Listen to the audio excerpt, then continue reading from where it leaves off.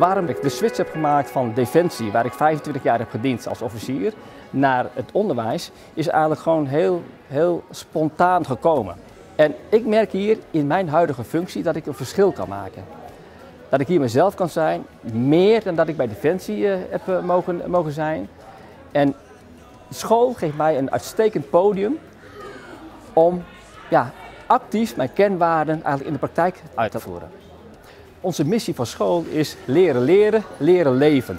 En met name het component leren leven vinden wij heel erg belangrijk om leerlingen ook die component te ervaren. Dus ik geloof zelf in ervaringsgericht trainen, ervaringsgericht opleiden, contact maken. Uh, een transitie moeten we hier laten plaatsvinden om van de vakdocent niet alleen maar docent te zijn, maar ook coach te zijn. Om echt contact te maken met leerlingen. Want contact maken is noodzakelijk om leerlingen ook kwetsbaar te laten zijn. En in kwetsbaarheid gaat men leren namelijk. We hebben hier ook uh, life skills, uh, het vak life skills. Wij doen hier veel aan, aan, aan begeleiding van leerlingen, maar ook de zorg voor leerlingen. Dat vinden we heel erg belangrijk. Want ja, je mag jezelf zijn. accepteer jezelf. En als je geen plan hebt voor jezelf, word je vaak geleefd door de plannen van een ander. Alles wat je ervaart in het verleden, moet je eigenlijk meenemen naar het heden, naar de toekomst toe. Maar te veel leven in het verleden of te veel leven in de toekomst, ga je wel kansen missen in het heden.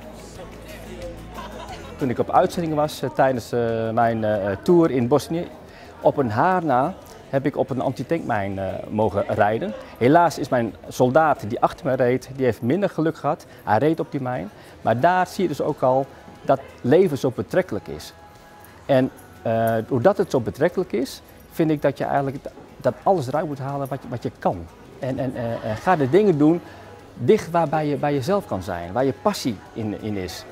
En ik vind het zo zonde als je werk verricht wat eigenlijk niet bij je past, waarbij je eigenlijk met zo'n ja, chagrijnig gezicht hier moet rondlopen.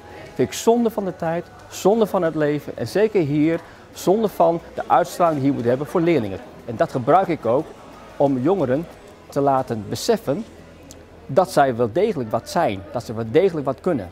Dus het vertrouwen moeten hebben om gelukkig te kunnen zijn.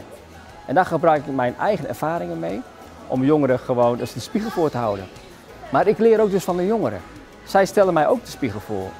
Dus we leren van elkaar. En uh, op basis van een, van een gelijkwaardige relatie proberen wij toch het beste te maken van ons, van ons eigen leven. En als ik daar dan weer voor zo'n jongeren een, een, een kleine bijdrage aan kan gaan leveren, ben ik rijk, ben ik een rijk persoon.